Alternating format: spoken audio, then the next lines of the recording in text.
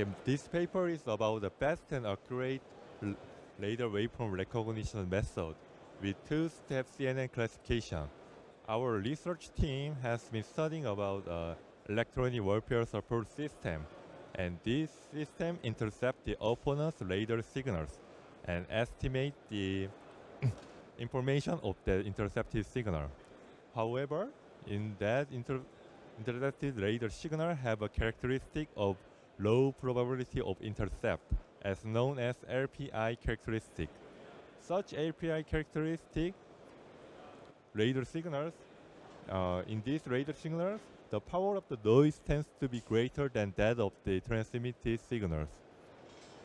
Therefore, we studied about uh, to recognize the modulation schemes of the intercepted radar signals in a low signal to noise ratio. This is the 12 different modulation schemes that we consider to recognize.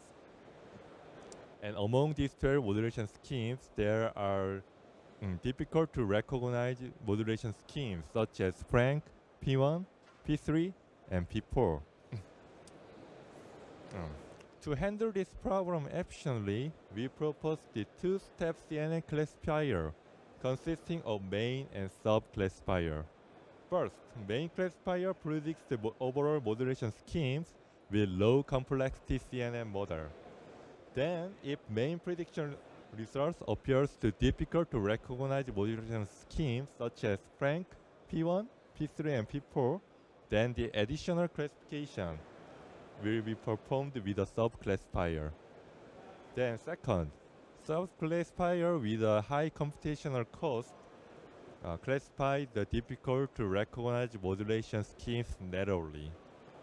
The simulation results shows that our proposed proposed two-step CNN classification method have a low error rate while having the low computational cost compared with the single compared with this existing single-step CNN classification method.